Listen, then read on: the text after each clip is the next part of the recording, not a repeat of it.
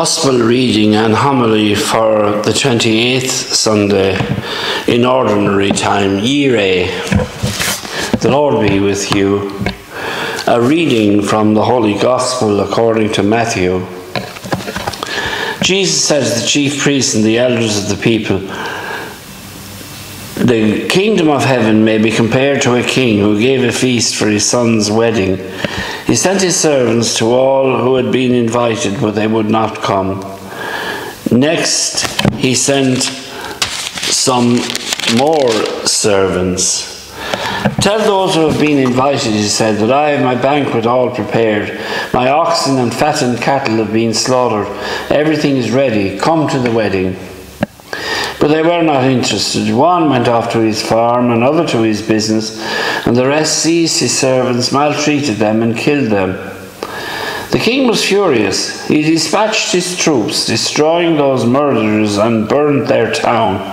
Then he said to his servants, The wedding is ready, but as those who were invited proved to be unworthy, go to the crossroads in the town and invite everyone you can find to the wedding. So these servants went out on the roads and collected together everyone they could find, bad and good alike, and the wedding hall was filled with guests.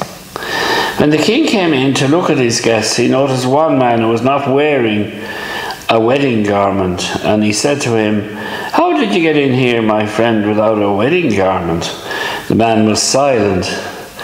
Then the king said to his attendants, Bind him hand and foot and throw him out into the dark, where there will be weeping and grinding of teeth. For many are called, but few are chosen. The Gospel of the Lord.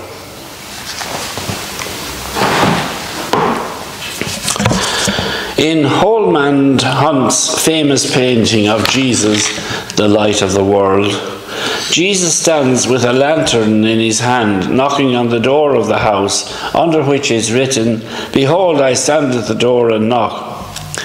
But it's interesting, I think, to note that the latch is on the inside. Yes, Jesus knocks on our door, all right, but it's up to us to open it. He doesn't force entry. The people invited to the wedding feast today turned down the invitation, and the same happened to the rich young man in another passage in the Gospel. Jesus invited him to leave his cushy lifestyle behind and follow him, but he turned down the offer and he walked away a rather sad man. But Jesus didn't run after him and gave him a dressing down. Even though God doesn't force us to follow him, there will always be a basing sadness in turning down his invitation. Remember, on another occasion, Jesus wept over Jerusalem because his own people did not accept him. But I think he'd be weeping buckets these days with what's sadly happening in the region. Our response to follow Jesus, however, must not be half hearted or complacent. Being a Catholic Christian could turn out to be little more than a mere label we use. That's like taking heaven for granted. The man minus his wedding garment would fit into this category. Some scripture scholars tell us that the wedding garment refers to ongoing repentance in our lives. Just like most people take a shower every day, so too we should regularly clean the inner man or woman by examining our conscience frequently and confessing our sins. It's said that Paul, Pope Paul, John Paul II, never missed a week without confession.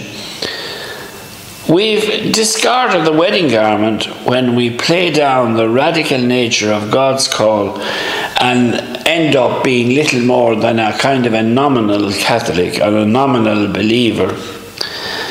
Being a baptized Catholic, for instance, doesn't give us an automatic passport into the heavenly realm. A baptismal certificate may be needed for admittance to the Catholic school, but it's no guarantee of entry into eternal life.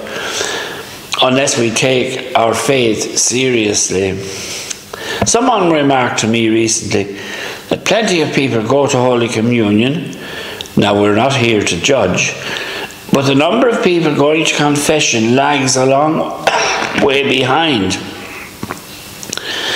But for anyone who's been to Medjugorje like I have, there's a long queues for this sacrament of God's mercy, with several priests hearing for hours on end.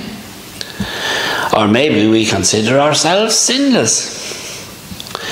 But that stands in contrast to the words of Scripture, which are if we say we have no sin, we deceive ourselves, and the truth is not in us. A woman was once overheard praying for her husband.